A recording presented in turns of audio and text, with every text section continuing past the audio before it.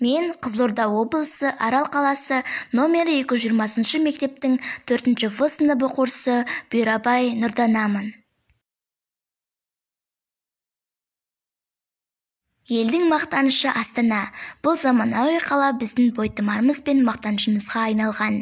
Болашақта қазақстан жаңа технологияны меңгерген елімізді көркейтетін жастардың қолында болады. Қазақстан дамыған отыз елдің қатарына кіреді.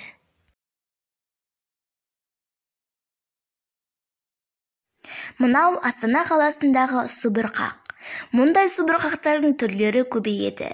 Әлемнің кез келген қаласына көше сәніне сән қосып шырай беріп тұратын субұрқақтарды кездестіруге болады. Бірақ ол субұрқақтардың бәрінің ән айтып би билей бермейтінін білеміз.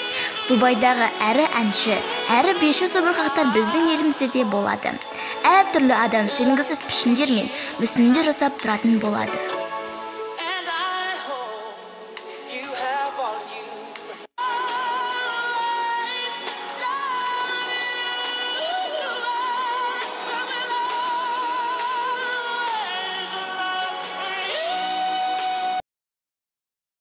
Жеңіл көлік шығарудан өз еліміз корея мен жапониядан қалыспайтын болады. Жол кептелісін және көлік апаттарын болдырмау үшін болашақта ұшатын көліктер жасалып шығарылады деп ойлаймын.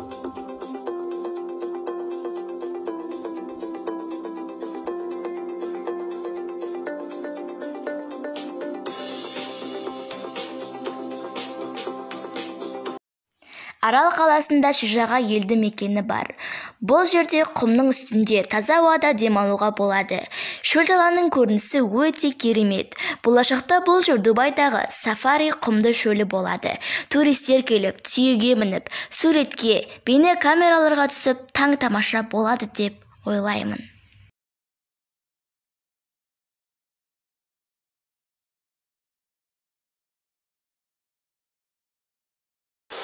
Балығы тайдай тулаған бақасы қойдай шулаған бүтін бір халықтың асыраушысы болған арал теңізі болашақта бұрынғы қалпына келеді. Кемелер қалқып жүзіп туристер келіп демалатын үлкен орынға айналады деп ойлаймын.